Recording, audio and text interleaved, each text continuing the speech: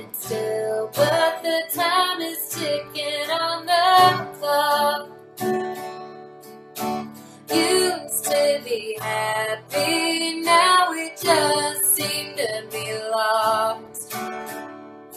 I'm starting to realize loving you comes at a cost.